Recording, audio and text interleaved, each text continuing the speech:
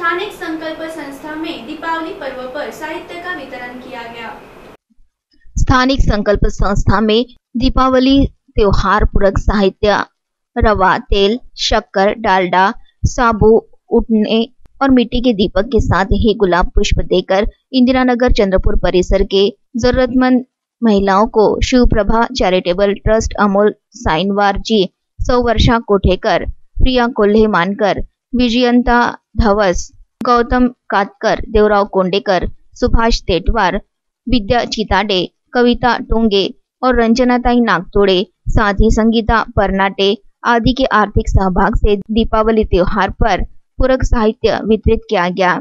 संकल्प के पदाधिकारी डॉक्टर सिमला, उमेश वासलवार, रंजना नागतोड़े, कुबेर मैडम, गौतम कातकर, देवराव कोंडेकर, अशोक खाड़े ने साहित्य वितरण किया।